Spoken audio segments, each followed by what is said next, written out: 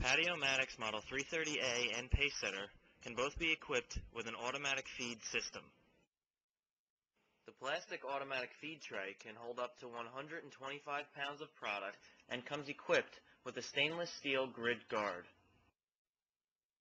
This automatic feed system is powered by a half horsepower motor that is mounted to the work table.